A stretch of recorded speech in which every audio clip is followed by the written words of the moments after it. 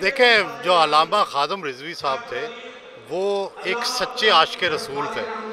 और मेरा और उनका जो रिश्ता था, वो इश्क रसूल का था। और मैंने जिस तरह उन्हें अलामा इकबाल के कलाम में डूबा हुआ पाया, इश्क रसूल में डूबा हुआ पाया, और हर आशिक रसूल से उनकी जो मोहब्बत है, वो देखी।